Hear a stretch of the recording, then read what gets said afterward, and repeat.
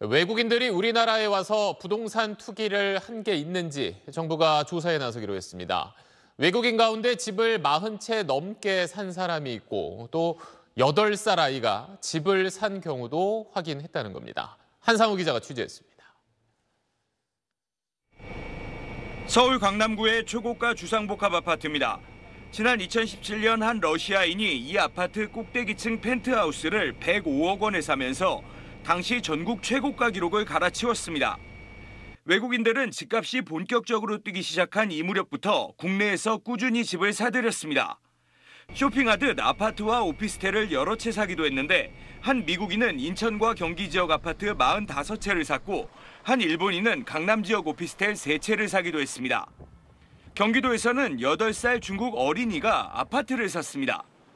국토교통부는 이런 거래 과정에서 불법 자금 유입이나 부동산 투기 정황은 없는지 들여다보기로 했습니다.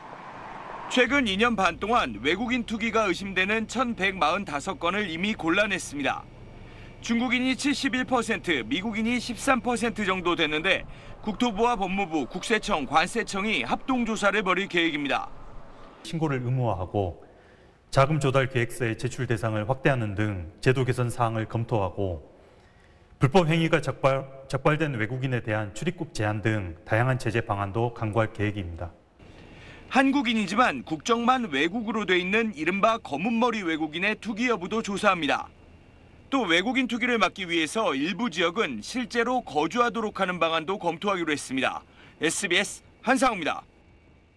네, 안녕하십니까 김현우입니다. 더 많은 뉴스와 라이브 이벤트를 보고 싶으시면 화면 오른쪽을 눌러서 구독해 보시길 바라겠습니다. 또 저희 SBS 앱을 다운로드 하시면 속보 알림도 받아 보실 수 있습니다. 항상 저희 SBS 뉴스를 시청해 주셔서 대단히 고맙습니다.